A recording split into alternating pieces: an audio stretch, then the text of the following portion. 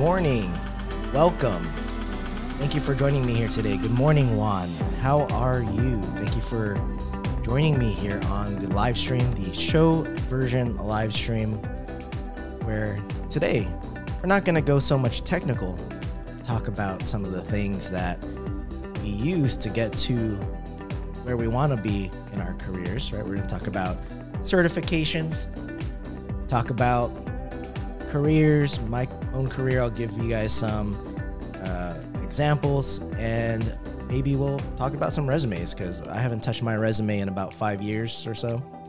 Uh, so we can talk about that. But thank you for joining me here on a Saturday.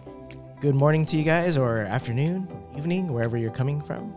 Renee, glad to have you here. Really appreciate it. And uh, I moved it to a Saturday morning because, man, those weekdays sure have been getting busy. So I hope you guys have your coffee or whatever drink you have on you or in your hand at the moment. Let me know where you are coming from and what you are currently drinking. I take a sip of my coffee. Woke up pretty early this morning. Um, this week has been quite the the ride for me. It's been busy.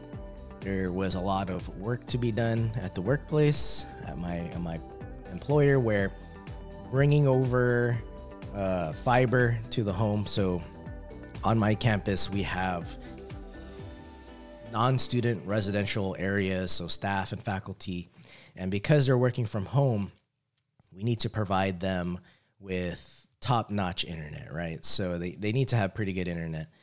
And it, it was a project that was already in the works.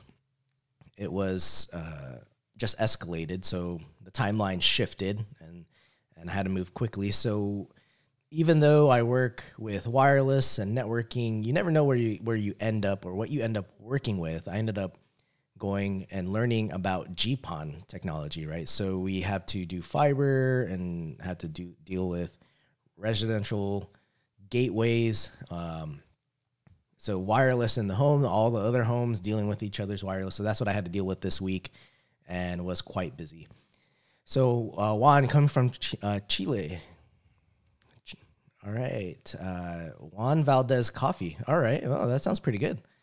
I bet you it's better than the cup of coffee I have now. And Francois, thank you for joining me over on Periscope. So I am trying something out different with this live stream where I am going live on YouTube, but I sent the stream out to two other locations. I sent it out to Periscope and I also sent it out to my Twitch account. So my Twitch account, I don't even use that much. So this is the first video that will be going live on Twitch. Uh, and uh, Juicy, you're drinking some Ethiopian coffee. Oh, I've had some Ethiopian coffee, and that is really good. Alan Wang, thanks for joining. You're having Philz Tesora. That is an excellent coffee. I have Philz uh, in my cabinet right now. Um, I was thinking about brewing some some Philz coffee, but it's so early that I would have woken up my whole family trying to grind those beans. So I'm thinking about putting uh, like an espresso machine down here or something in, in, in this garage so that way I don't wake anyone up in my family. Thank you guys for joining me. Uh, I'm really happy that you guys are here. We're to talk about certifications, right? It's kind of a interesting topic, and uh, it's it's one of those things where you go for certifications uh, for a variety of reasons, right? And a lot of us have those certifications. We we have done these certifications because we felt that we needed it to get somewhere in our career, get to the next level.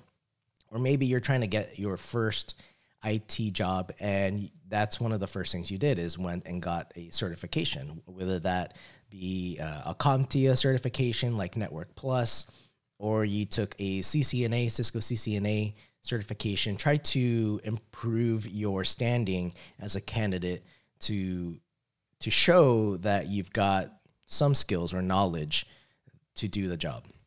So uh, over time, my my uh, view on certifications has always shifted because you know it really depends on on uh, the the job outlook, what what's currently out there, and then you run into people who do have certifications and they're either really really good at what they do or they are horrible, right? And so there are ways to utilize how to utilize these certifications in your job and improve your prospects, right? So you, the first thing to certifications, I believe, is you got to think about your why. Why do you want to go for a certification, and what will it do to improve your current situation? So if you're currently out of the job, like many people currently, now might be a good time to pick up a certification. And whether that is to uh, improve your skills and make yourself look good in, in terms of uh, applying with other candidates, because there's going to be a lot of other people that you would be in the hopper with. And so you need to differentiate yourself. And so certifications are one way to do that, right? If you're applying for a network engineer position, you kind of have to look at that job description and see even whether or not they they care to have a certification. A lot of times there are companies that just don't don't care if you have a certification because it means nothing to them. They they either depend more so on your experience and your thought process of how you're going to be when you're on the job. the other thing they look at and and I would say the really good companies primarily look at the person and how you are as a person and not necessarily how many certifications you have. And so to get started, I always tell people go after the certifications that you are most interested in. I, I don't recommend getting getting um, as many certifications as you can because uh, what will end up happening is when you advertise to the world that you've got a whole list of certifications and a wide range, say uh, networking certifications, systems administration, like Microsoft certifications. Um, it's it's uh, it'll it'll I think lower your chances as far as being someone they select uh, to bring forward. And the reason why is if you're going for a more specialized role, if you're applying for that specialized role, you should be specialized in that role, right? You, they don't want kind of the um, master of none and and go with that person. They'll pick the the right person that's got the experience. And so if you want to get into the networking field, you should focus on getting network certifications.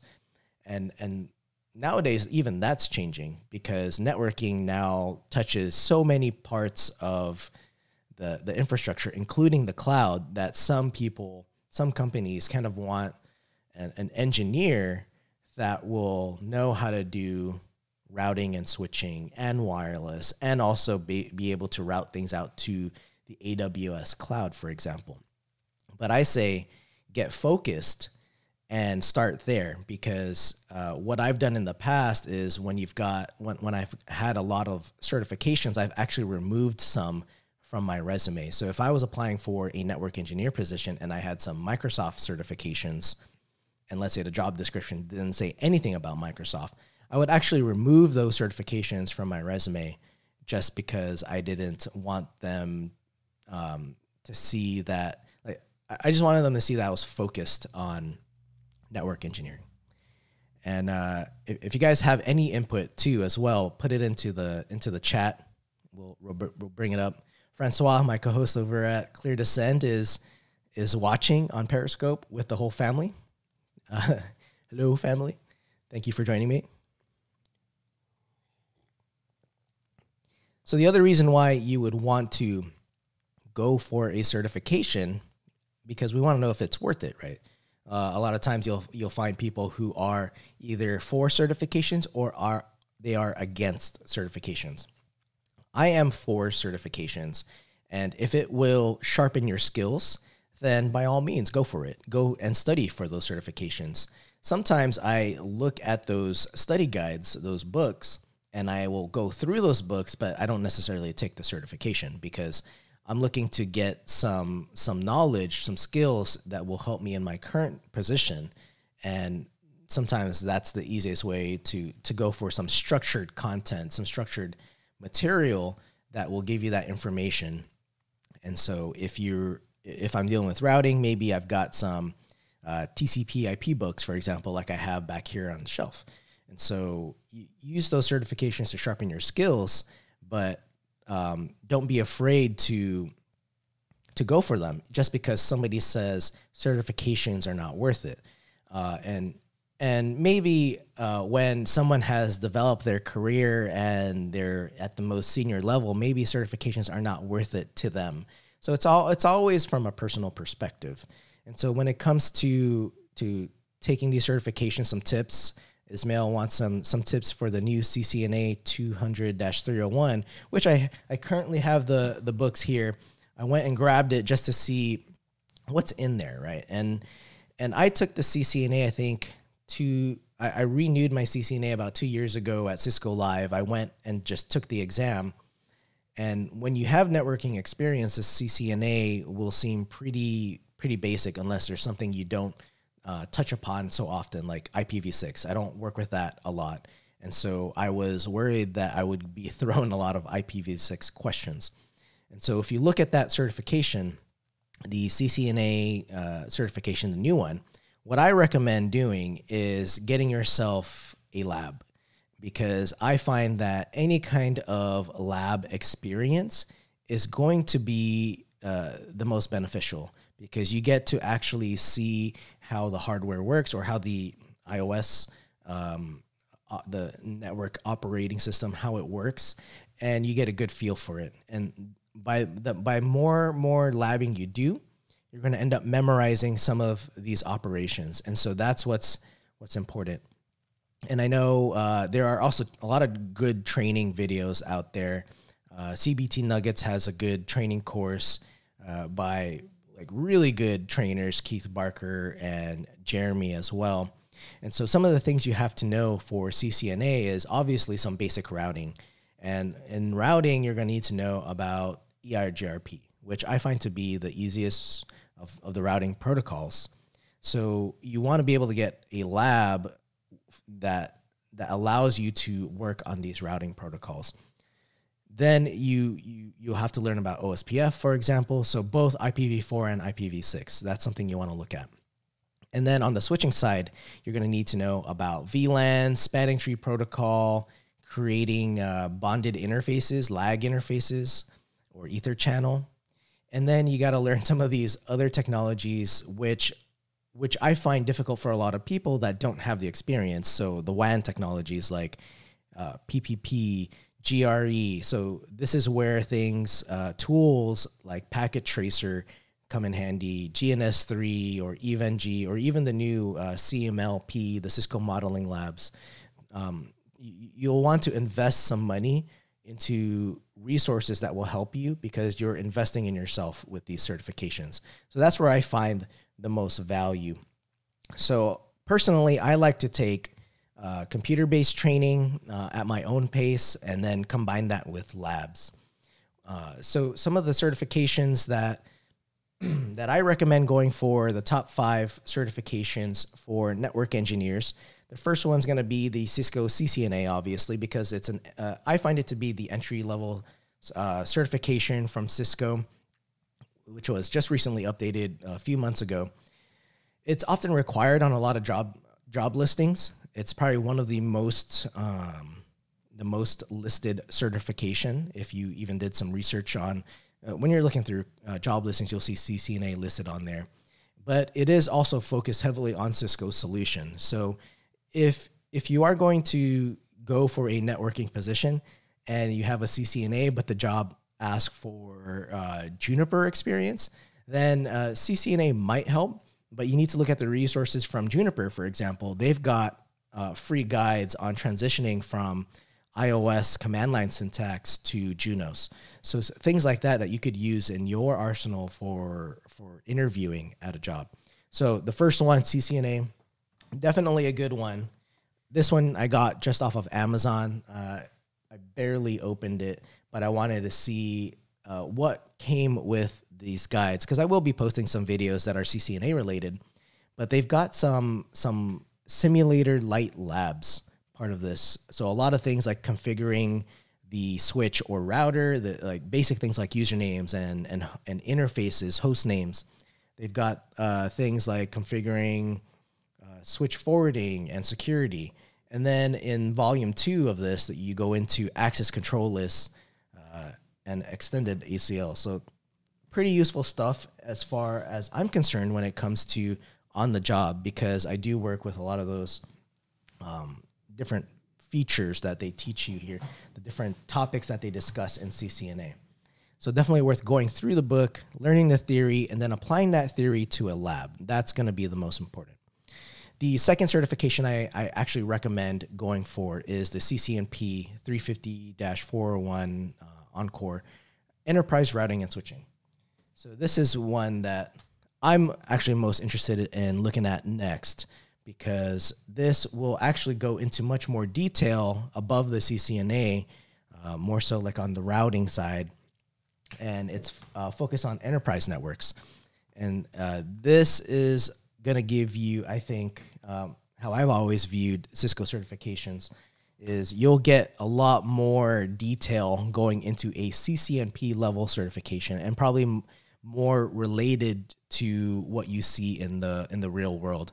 The CCNA I think will give you that foundations and and be able to configure switches and routers at the basic level and have a basic understanding of routing but CCNP and CCIE will actually get you to the real world because there's a lot of material there that, um, like routing, for example, not every environment has basic routing setup. You go into these large environments and they've got some complicated routing, virtual um, routers, all these different things like VRFs, and having to deal with troubleshooting. I think troubleshooting is going to be the best one. So that's why I like to tell people to try to get a lab environment going, even if it's one you could rent from like Cisco, for example, on their training. Because if you could break that lab and try to figure out why it's broken, that's more closer to the real world environment. The other certification I recommend going for is the uh, Juniper JNCIS Enterprise. Uh, it's also listed often on a lot of job descriptions. It's the next level above the Juniper Associate certification, but the uh, it's it's very similar to the CCNP level, and I feel a sneeze coming on. All right, it's gone. Don't you hate it when the sneeze just kind of leaves your mind? The command line syntax for Juniper is very different from Cisco IOS, but uh, the routing and switching fundamentals still remain. Like you're still going to use those fundamentals. You just got to use them in a different syntax and and so I got this book here because I didn't see any official Juniper training. Instead, I got this Juniper uh, book, Junos, on enterprise routing, which uh, the, the, topics it goes into is configuring uh, Juniper enterprise routers like the M series and MX series, Ju- uh, configuring Juniper interfaces and advanced troubleshooting. Talks about routing protocols like uh, BGP, for example. That's going to be a big one. And then some layer two uh, services, multicast, things like that. So for me personally, it's more about understanding Junos as an operating system because uh, having had Cisco experience, I understand the routing and switching side. It's more how do you configure this on the Juniper side? Uh, the next certification I recommend going for then is the CWNP CWNA certification, the Certified Wireless Network uh, Administrator certification, because wireless is the primary way people connect to the network. I think it's critical to understand how wireless works and how to configure it properly. I know it seems easy. You just put up an AP and then you're good, right? But in an enterprise level, you might be dealing with uh, you know, a couple of APs, hundreds of APs, or even thousands of APs. And so understanding how uh, wireless frames work, how the how those transactions go through between AP and client, and what happens when you have a higher density or even a high capacity network where you've got devices and, and, and really intense applications over wireless networks. You want to be able to design for those environments properly and also be able to uh, design them to the capacity. And so I have a couple of certifications up there. There's a couple couple of books that I recommend. There's some uh, official certification training books from CWNP, and then you, there's also one from Sybex written by uh, David Coleman and David Westcott. Those are two excellent books to get started. But with Wi-Fi 6 and Wi-Fi 6E coming around the corner, I think it's going to be important to understand wireless. So the last certification I recommend getting is either the Cisco DevNet Associate or the Juniper JNCIA DevOps certification. Network automation may not be part of your your role right now, but it's increasing becoming increasingly important to understand it because as these larger networks are starting to use network automation, some of that will trickle down to the smaller networks. And so it's quite possible that we might not see a command line interface in the future. We might just be dealing with uh, web GUIs to deploy routers and switches, even on small networks. But as a developer or an, um, I don't know what you want to call it, like a DevOps or a net DevOps, you still have to understand fundamental routing and switching. You have to understand how all that works in order to, I, I feel, to automate the network. It, I, I think you'll have a greater advantage if you've got that strong network background to really understand how net, network automation works. And that way you don't make uh, large scale uh, errors because you could, uh, I, I, find that automation, you will make errors, much large, bigger errors faster since you're trying to automate a lot of network devices. And so uh, the materials, Juicy, that I've used for DevNet and how I um, studied for that, I actually just went to developer.cisco.com. I looked at the objectives for that certification and on developer.cisco.com, they have a lot of free labs. So I use a lot of those labs to understand those objectives. And then there's a lot of other resources I've used online just to understand um, uh, some uh, programming concepts in general. Just doing some Google searches on like continuous uh, implementation and development.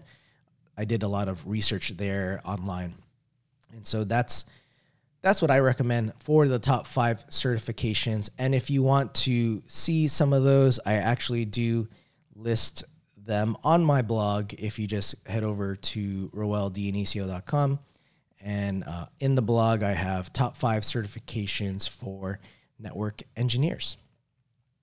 And so, with certifications, it's important to know how not to use your certification. So, the first thing is um, and Juicy, to answer your question, do I plan on going for DevNet Pro uh, or uh, the next level? Not yet. Uh, I'm not even close to being a, a, a proficient DevNet associate level um, person where I'm autom- fully automating networks. So I'm not quite there yet.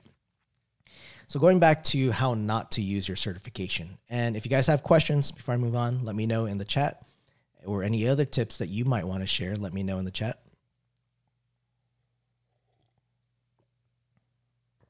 If you guys found some of those tips useful, hit the like button. I would uh, appreciate it.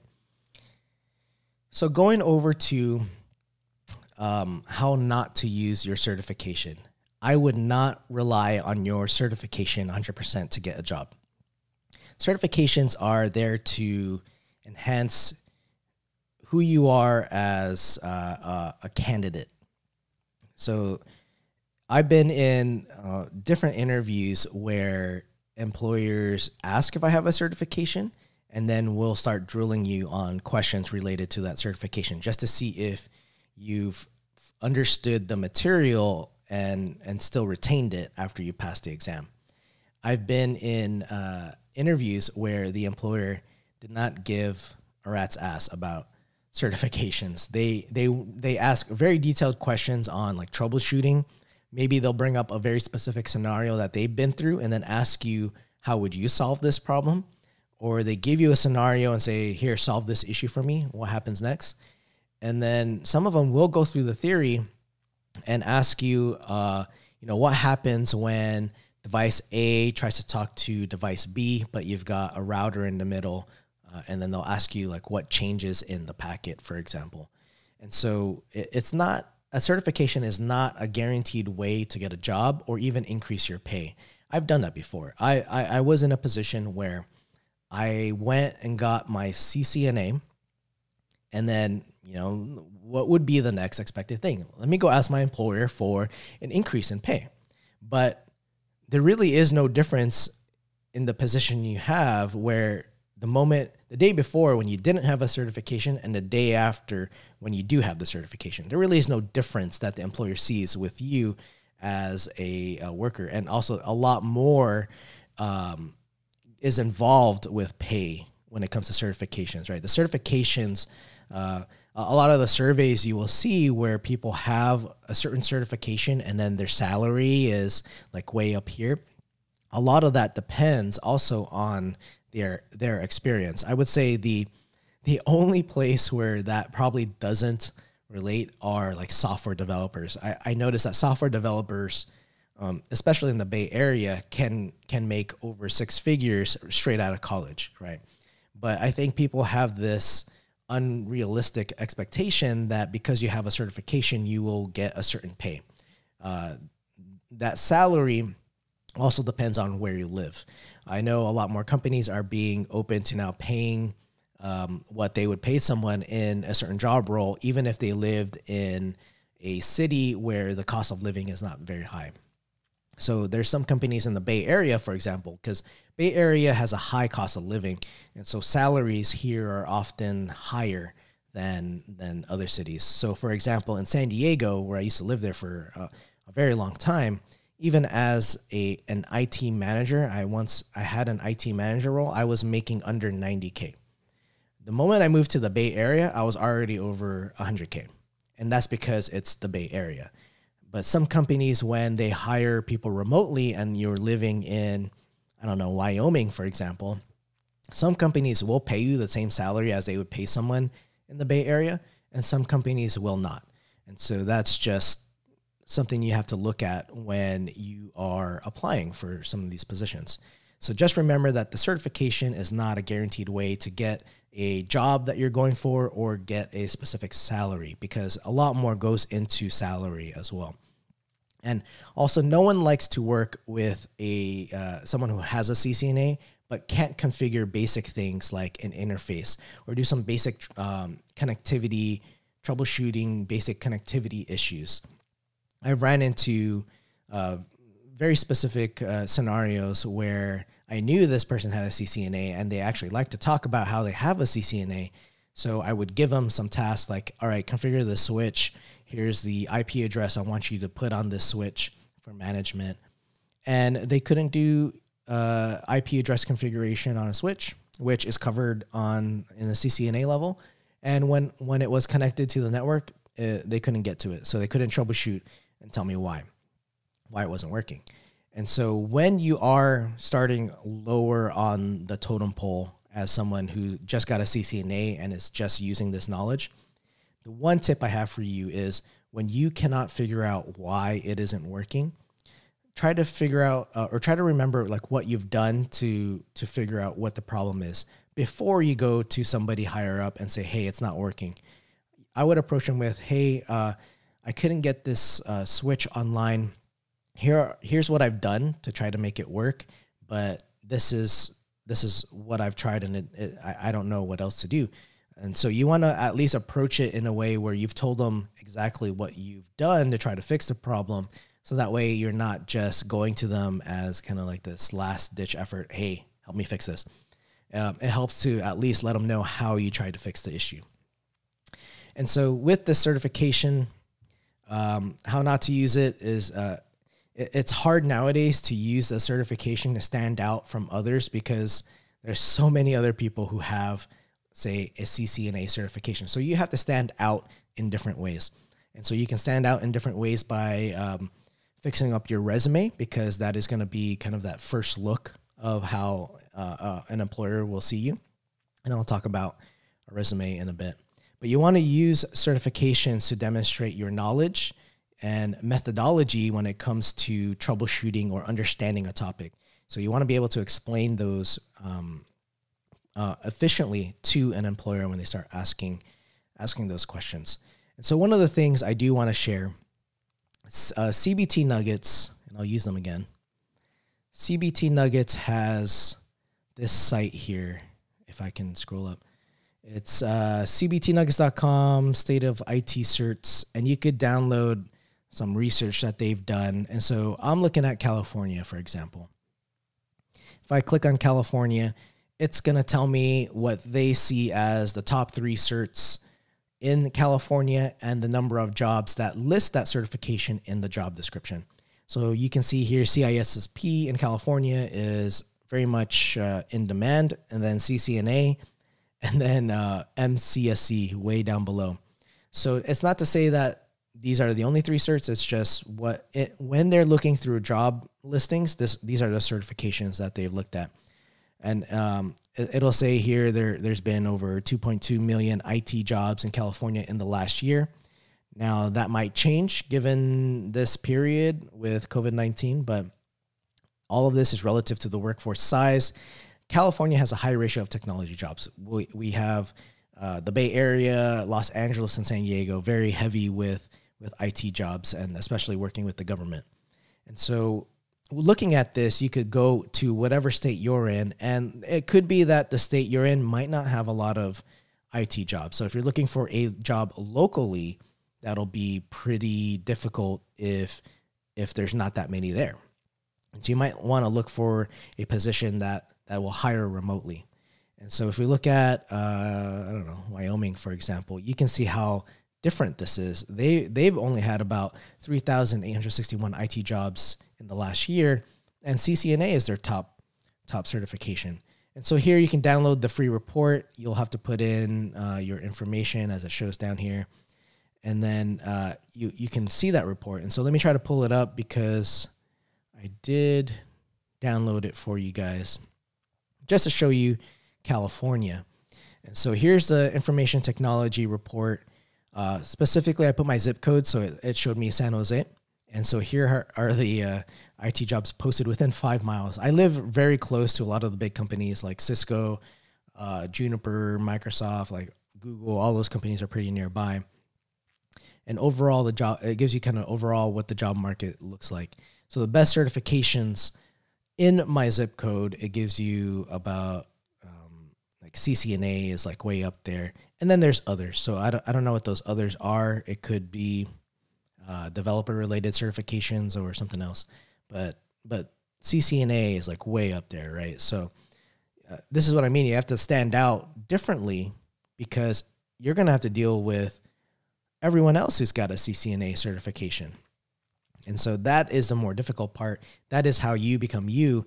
You got to um, you know, spruce up your resume, maybe build up some blog content. So if they look up your name, they can see that you are actively talking about the topic that you're an expert in or you're trying to be an expert in. And, and going back to the report, we can see which companies are hiring. So Supermicro uh, has a ton of job postings. I'm not sure what's up about that. Like that's a lot of job postings. I actually just bought a Supermicro server for lab purposes, which I can talk in a diff- about in a different day. Uh, I don't know these other companies. I do know who Synaptics is. They're they're nearby. And so, what level of jobs? So, there's a lot of entry level jobs.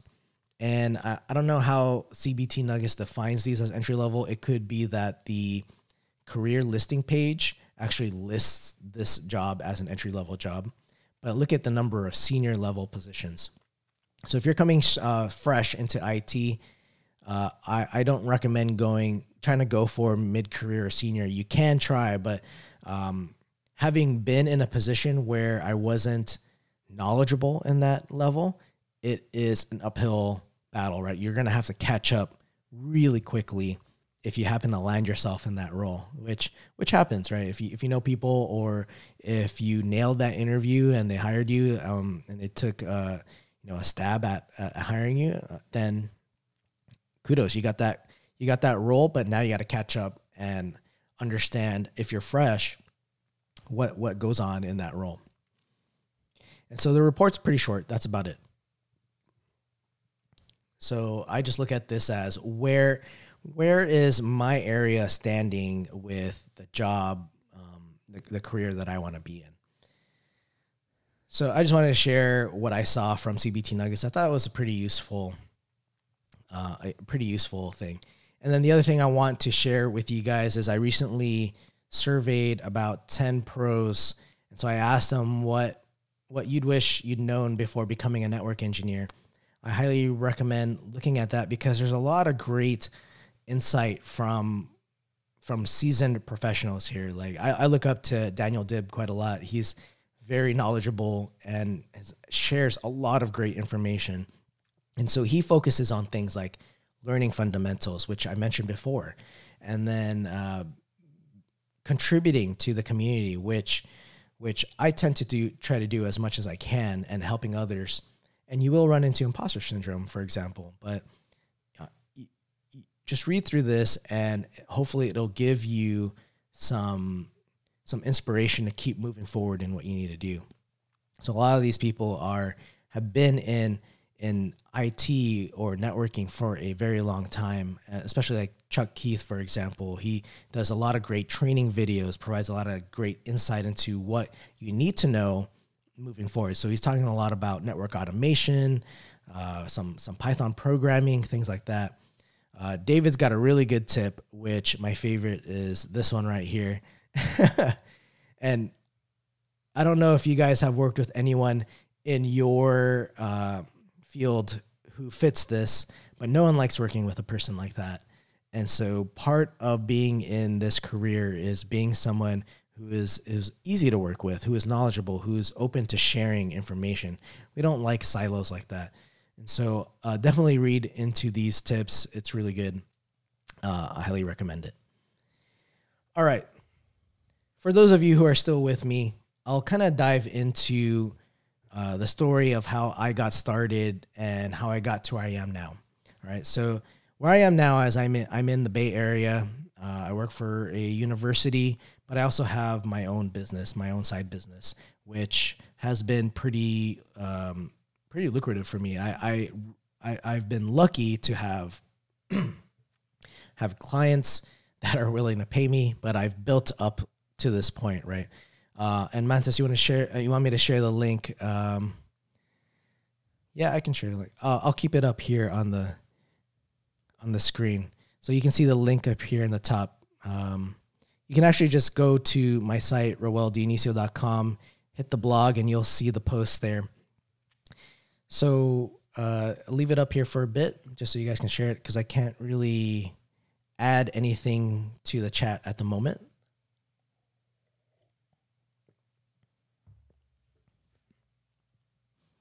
but just head over to my main site to the blog. All right. So to, to so how I got started, uh, I think my IT career started in San Diego. So I got my first help desk job back when I was like 19, um, and I was making under thirty thousand a year doing help desk. I didn't really know what I wanted to do, but uh, I, I I wanted to explore different verticals, right? So I was either into network engineering or systems administration or systems engineering. Uh, the network engineering part was a lot harder for me to get to. So I started uh, going down the path of of starting with help desk, which I recommend a lot of people to at least take a help desk position, if especially if you're just getting started, because you understand how the users are are using resources on the network, right? that allows you having that knowledge allows you to troubleshoot uh, a lot more efficiently and proficiently because if you understand what the user is trying to do then you could probably get down to the root cause a lot faster. Because sometimes it's more of a user issue than a network issue. Everything gets thrown up to the network like hey so and so can't do this. It's a network issue. And you gotta prove why it's not a network issue or or or fix it knowing that it is a network issue. So i started uh, at 19 about uh, under 30K a year, US dollars, doing help desk. And then uh, a year later, I ended up going to a different company as a PC support specialist.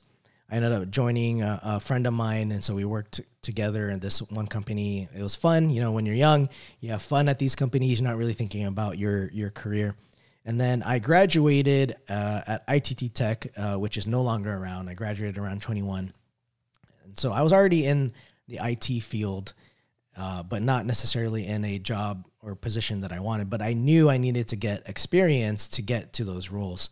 And so I was working at a company where I had access to people who were in those roles. And so I looked up to them. I tried to learn from them as much as I can. So I'd ask a lot of questions. And, and one thing that I recommend is asking questions. if you don't understand how something works or how something was solved, go ahead and ask that question. Hopefully, the other person is open to telling you why or how they fixed it. If they are not, they're just, uh, those are the type of people I do not like to work with, the ones who do not share. Because uh, over the years, as you um, get into a role, sometimes you find that whatever help you can get, you will take it, right? So if I can teach somebody how to do something and they can help me out because of the uh, the job duties and responsibilities that I have is is uh, you know the tasks that you got to do, you, you got to get a lot done, then you can hand some of that that stuff off. And so as I learned a lot, I ended up at 21 getting a systems administrator job. And so at the time, that was just $37,000 a year. And so you can imagine uh, how much these guys get paid now, but I was still entry level. So I learned how to do things like Microsoft server administration, uh, building a lot of physical servers. I still had to do troubleshooting uh, whenever you know tier one help desk couldn't do it, and it got kicked up to me. Uh, started doing a little bit of Linux, but because Linux was difficult to learn, I kind of shied away from it. So now I'm actually using Linux a lot more. But then uh, as as I got more skills, I was still at the same company. I tried to ask for an increase. So I was I asked for an increase to go to 50k, fifty thousand dollars a year. And during that time, I had acquired uh, CCNA. I had a couple other certifications like an A plus, a Network plus, and I was starting to do a little bit more networking, but more like on the Dell networking side of things. And then later, uh, at the tail end of that systems administrator job, I ended up touching Cisco equipment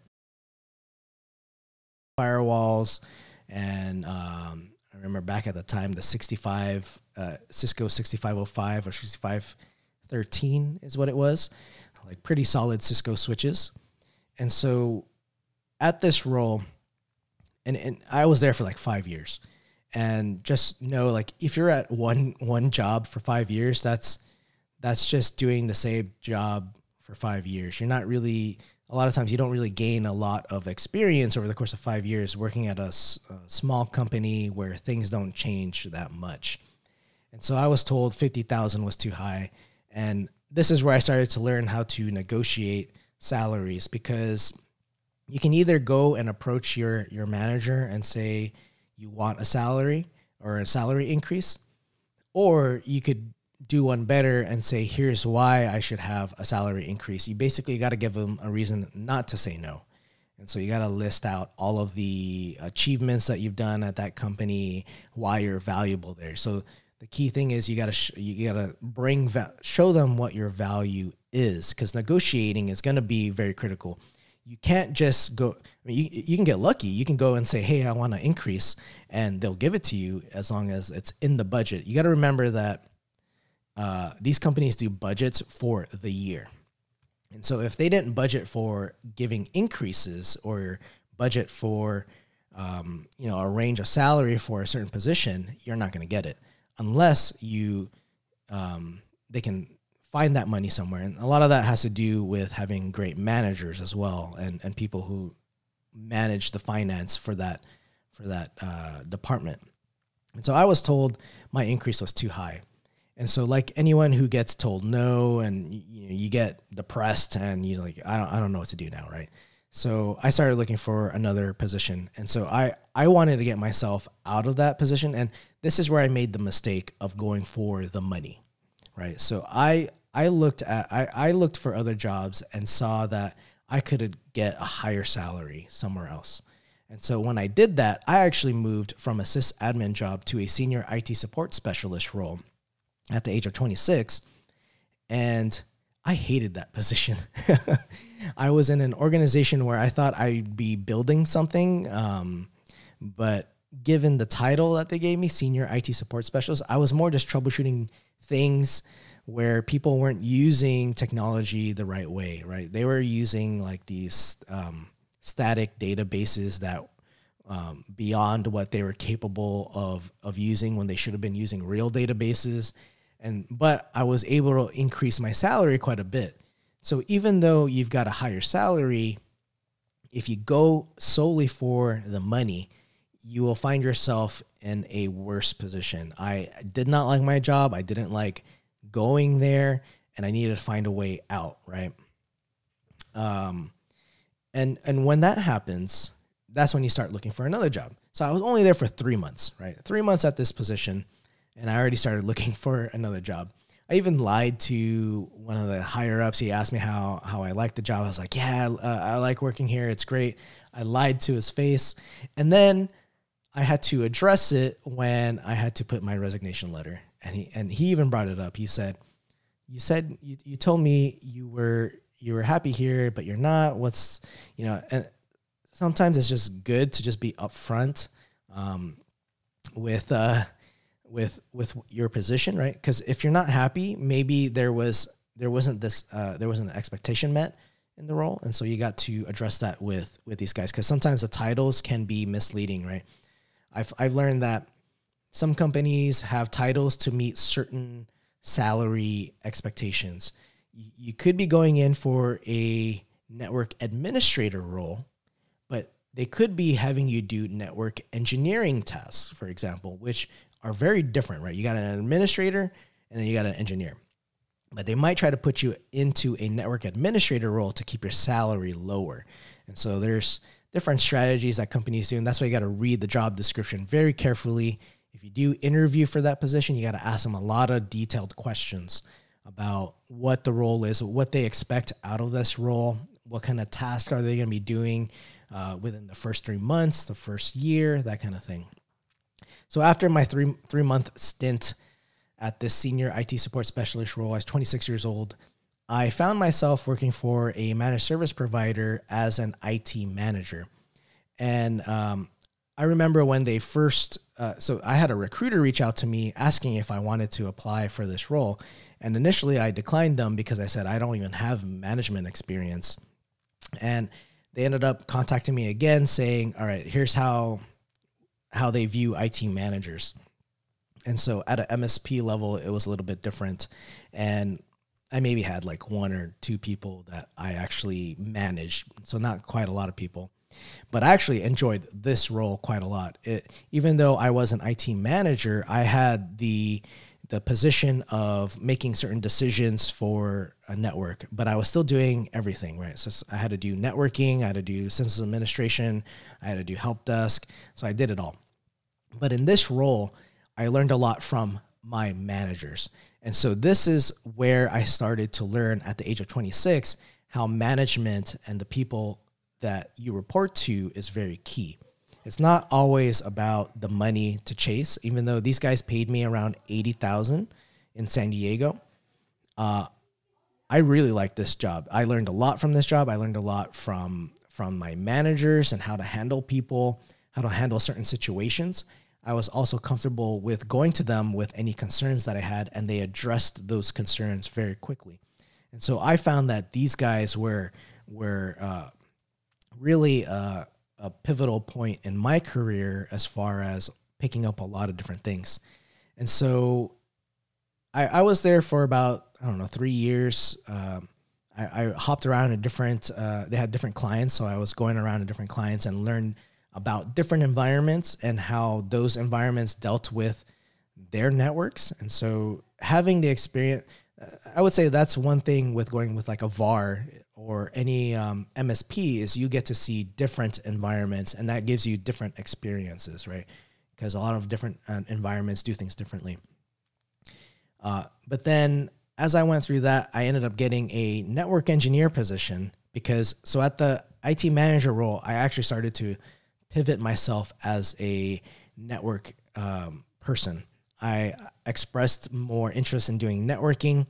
We didn't have anyone who was a specialist role at networking, even though uh, some people uh, had some experience, but they just weren't that versed in it. So I took it upon myself to to put myself out there and say, hey, um, if you need network uh, expertise at these other environments? Can I be the one to learn and do? And this is where I learned how to do wireless. I learned how to do uh, configure uh, routers and switches for certain environments, do the redundancy, all that kind of thing. Um, and that's what really got me into the role now where I'm a network engineer in the Bay Area. And at the same time, I ended up starting my own company, which is focused more on the wireless side. So I have a side business, uh, a consulting company that focuses on wireless design, configuration, troubleshooting. And at the age of 32, I'm 34 now, I was able to land some large contracts with, with different companies and I was able to land uh, at the age of 32 a contract that was $120,000. Now that wasn't what I got to take home, but that's how large that that contract was.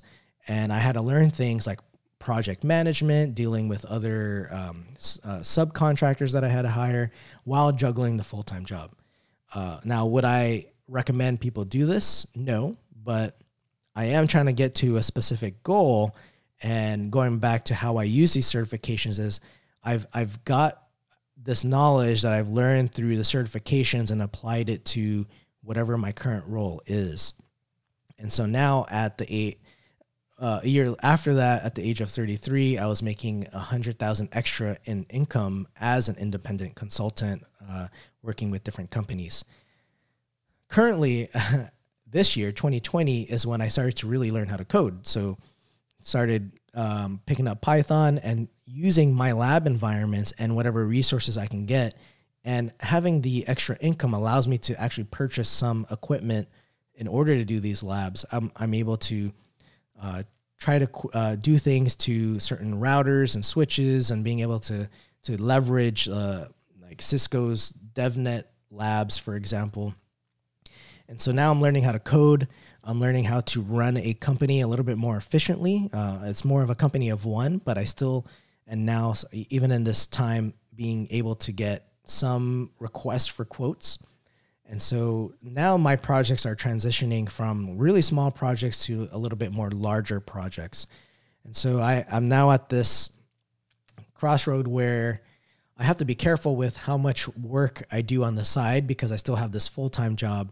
And will I transition over to working for myself full time. Maybe that's a possibility, but I just want to share like where where I was and how I got to where I am now because I, I never expected myself in about 10 15 years that I would be uh, starting my own company. I just never I never thought that was going to happen.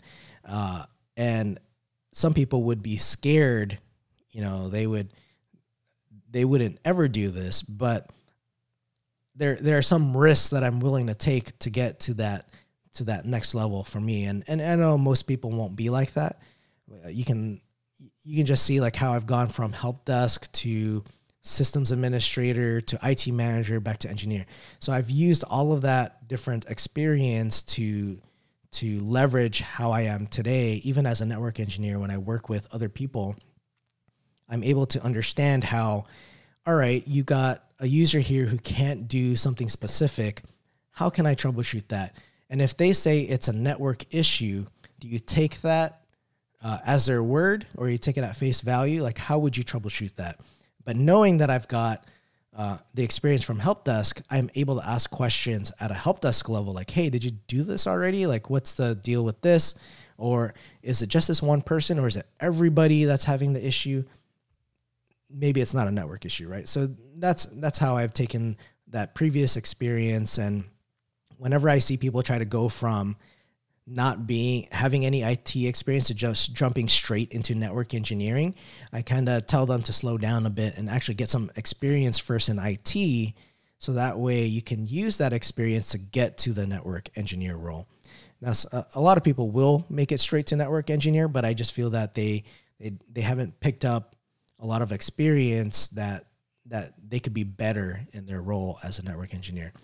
And so for me, my role now is um, helping to build this IT community, be uh, someone who can share information with others. Because when I was in my position years ago, I did not know who to go to. Uh, I learned in the in the wireless field in the wireless industry, we've got people we could look up to, and I just want to be able to help others. Uh, I know, like Daniel Dib, for example, is really about the community, and so I'm just following his footsteps and trying to contribute back and help others. And so what I've done is if I can share my resume with people. So some resume tips that I have. Um, resumes are pretty interesting because now a lot of this stuff is automated. And what I mean by automated is companies just look for keywords, right? They're not really sitting there looking at everyone's resumes because they get hundreds of these. And so what do you do to try to stand out? This is a resume I've I've been using for the I don't know for how long ever since uh, 2012. I've been using this resume, and what I've done over time, it's evolved where uh, I've I have this line up here just to kind of give them an idea of like who I am as a person. They'll probably just take that as a, with a grain of salt, but I list a lot of keywords on here because what's going to happen is these companies are searching for key. If here's an example, if they're looking for a candidate that has CCNA, if you don't have CCNA listed in here, they're probably not going to pick your resume. Um, or if you didn't put it in the application, they have a CCNA, they're probably not going to look at your look at you at all. Uh, I do know that in this resume, I don't even have my certifications listed. At one point, I did, which you could just you know at the bottom here go certifications and then list them out. And don't list out every single certification you have. List out the ones that are relevant to the to the position that you're applying for. And so what I've done here is um, just highlighted some technical stuff that I've worked with. I know a lot of companies tend to ask, "Have you worked with this type of equipment or this protocol?" So I list that because it just kind of stands out in in uh, the search that they're doing for when they're looking through the resumes. One of the things I've done in the past is actually remove stuff. And so now what I would do if I was applying just for network administ- uh, engineering roles, I would actually remove a lot of these things like Exchange, server, Active Directory. Yeah, you know, I don't, I don't want that. Uh, group policy, uh, I, I'm going to remove that. Microsoft SharePoint, Microsoft Server. I would remove all of these. There was at one point where I had on my resume and in LinkedIn, um, I can't even remember it. It was like a um, very specific uh, server from Microsoft that the it it was like automated deployments of something. And I would get constant queries on that because it was such a specialized role that it was turning into that I just removed it out of my resume completely because I knew I did not want to get uh, positioned into that role. And so I removed it. And here, what I recommend doing in a resume, let me go down to one. I haven't updated this in a long time. I only updated it to remove company names uh, I recommend in your resume, you highlight results, highlight the things that you've done that actually made a difference in the company. And so, one of the things, for example, as an IT manager that I listed here in this company, was I I I bold things in the beginning that that are relevant. I feel to whatever I'm I'm uh, applying to. So I for example, here saved over nineteen thousand dollars a year for this company. So even if they didn't read the whole line, they can they can see in bold that I've done that, right? I've done cutovers before uh, um, to a whole new circuit, creating new NAT rules, that kind of thing.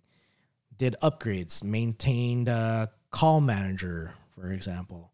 Uh, did um, remember when you did a P2V projects when we converted uh, physical servers to virtual servers. So, and, and I think I learned this this concept from a security expert. I think his name was Lenny Zeltser. I think that's who I got it from. But this method has helped me actually get to uh, at least a phone call with like HR and then and then conversations with uh, hiring managers.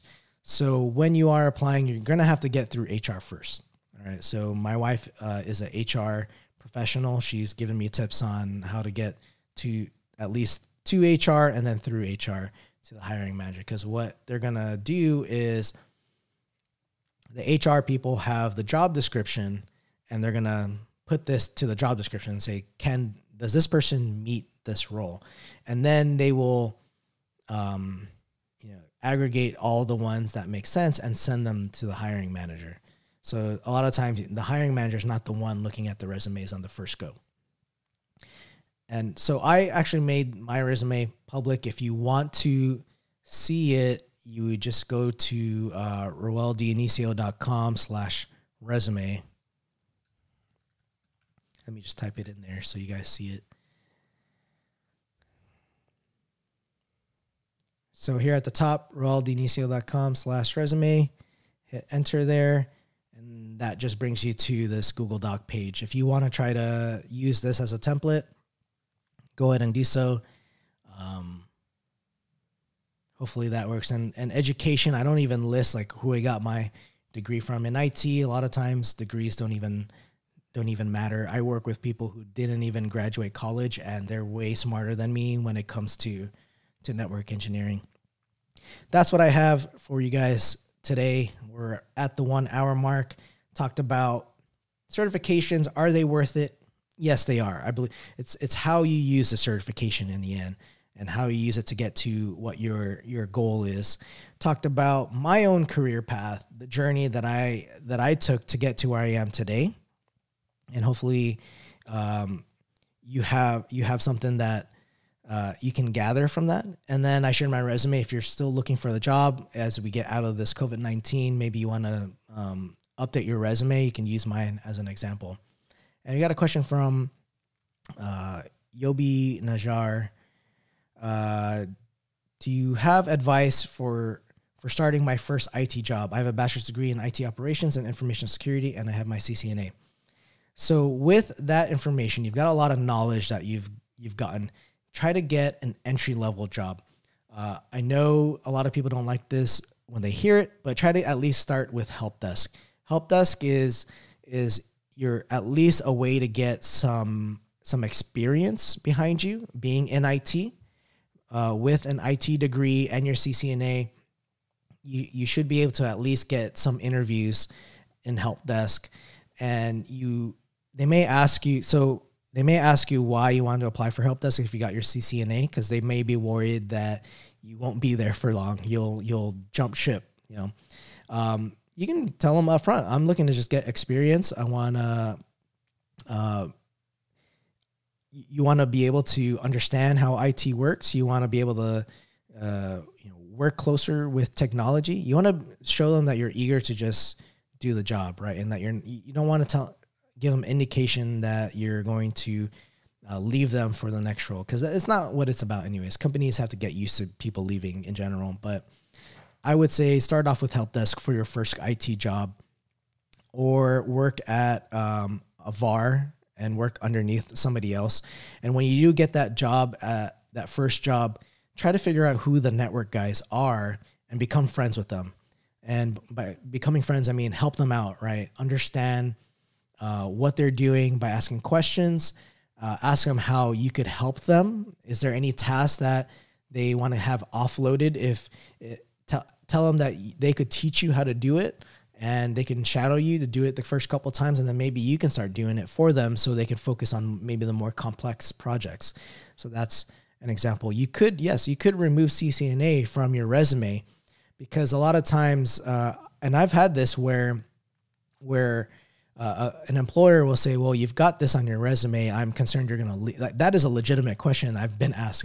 They say, "You've got this on your resume. I'm concerned you're going to leave me in a year or three years," and you have to be prepared to answer that question, right? So you could remove CCNA altogether in your resume, or you could rephrase your answer and say, "Well, maybe I won't leave you. Maybe I'll move up in the company and still be here in this company with my CCNA."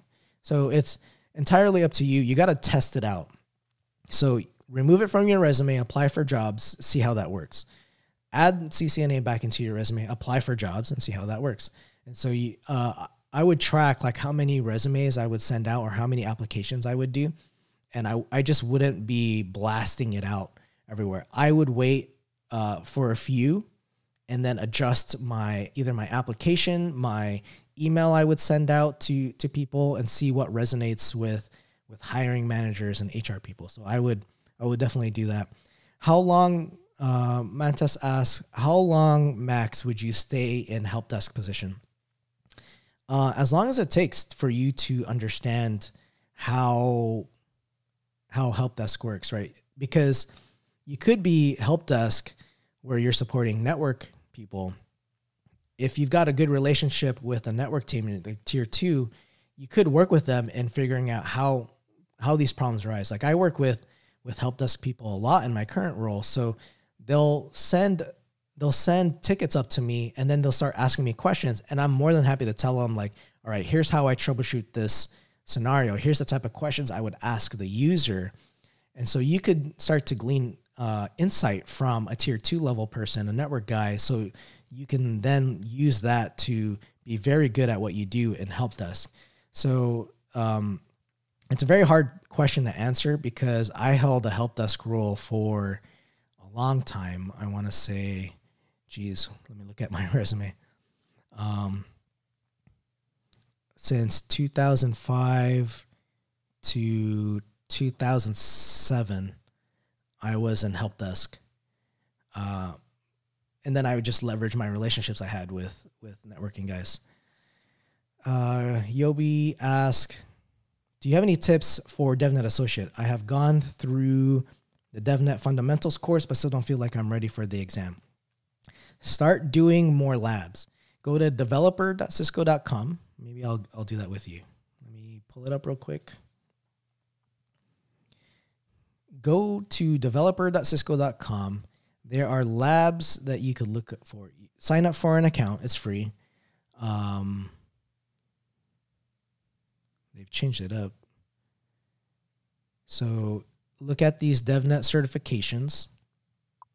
I know there's a, a course that they were using, but look at these objectives. And what you want to do is try to align some of these objectives with the labs. So you see how, see these objectives right here? Objective 1.0. They've got the topics and then they've got the, some study materials here. If you click on these, go through every single lab you can go through that's associated with this you'll find other labs that you'll find useful as well. this is what I primarily use to study for DevNet Associate. I have no background in programming. I have no background in using Git and Python. I and I learned I started learning really going through this in October 2019 and then I took the exam in February when it was available. So I went through all of these and I started blogging about them as well. So if you go to my site, I have a, a DevNet Associate section where I I'm starting to go through each of these and re, re teaching myself some of these concepts so it st- sticks in my mind. And so I have some videos where where I go through this, where I've started talking about uh, uh, comparing data formats and parsing uh, XML, JSON, YAML to Python, Python data structures. You got to actually do that. And some of these labs are publicly, uh, like the, the Cisco routers and switches, some of these are always on, meaning you don't have to go through Cisco's site to use that lab.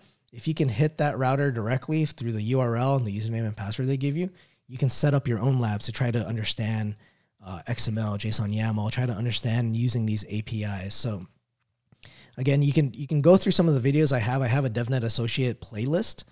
You can uh, look at that to get started. I'll keep adding more to it.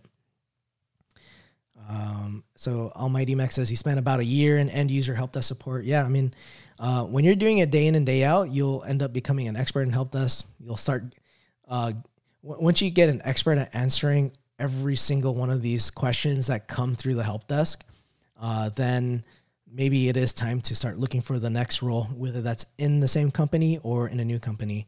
Uh, one thing I would also recommend working on is your soft skills at the help desk role because a lot of that is interfacing with end users. So the more happier you can make end users in the end of the call, uh, that makes you a better a better person, even a better engineer as you work up different roles in your career. So there you go. That's that's all I have today. It's 9:10 over here, getting ready for the the weekend. I got um, my wife and kid's birthday coming up soon, so gotta start planning that out. But really happy you guys were able to join me here today. If you guys have any questions, let me know in the comments. Head over to the YouTube channel or feel free to hit me up on Twitter. at Rowell Dionicio. So these are the two different ways you could reach me online. So I hope you guys found this live stream useful. I'm gonna try to do these show version live streams regularly. At the beginning, I tried doing them seven days. I did it for seven days, every day for seven days, and that was actually quite challenging. Uh, it was challenging for myself, but thank you guys for joining me here. Hope you guys found something useful. If there's topics you want me to to to discuss in a future episode, let me know in the comments, and I will try to do that.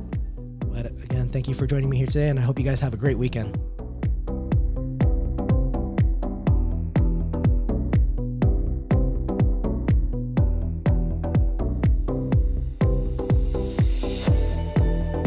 Thanks, Mantas. Thanks, Lariana, for joining again.